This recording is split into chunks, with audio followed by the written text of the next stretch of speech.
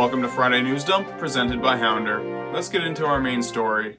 Eminem surprised fans on Wednesday at the opening of his new restaurant in Detroit, Mom's Spaghetti. The eatery's name comes from the iconic line in his song, Lose Yourself, where he raps about vomiting on his sweater. The spaghetti is made to taste like it's reheated, because it is. They cook the pasta one day before serving it and make the sauce in-house to taste like it comes from a jar. It's far from gourmet, but if you're an Eminem stand looking for the best reheated pasta on earth, you may want to book a flight to Detroit.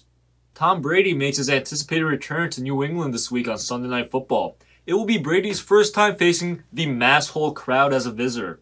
As of now, Brady and the Bucs are seven-point favorites over Belichick and the Patriots. This game is going to have heavy Belichick vs. Brady vibes as the rumors about their split are picking up this week. We even have Brady's father taking shots at the Patriots for how they treated his son. Before the game starts, I'm sure it's going to be one big New England love fest. Once the ball kicks off and the alcohol settles in, I'm sure Patriots fans will have some words for their former friend. Kanye West is once again swindling his faithful disciples by releasing his Yeezy Gap sweatshirt for $90.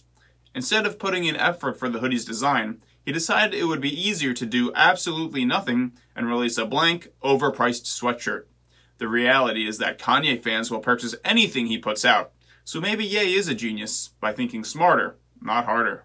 With a handful of games left in the MLB regular season, both American League wildcard spots are up for grabs. The Yankees, Red Sox, Blue Jays, and Mariners are all battling to see another day. As of now, only one game separates all four teams.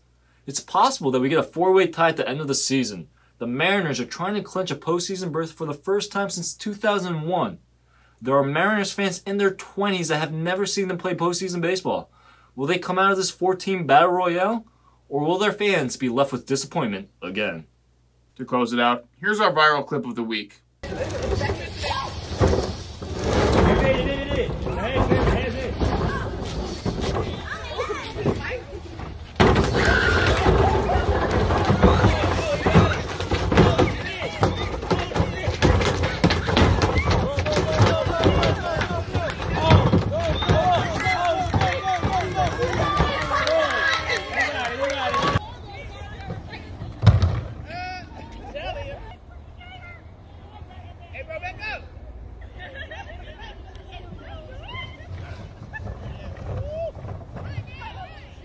This Floridian man helped out a neighbor by trapping an alligator in a trash bin.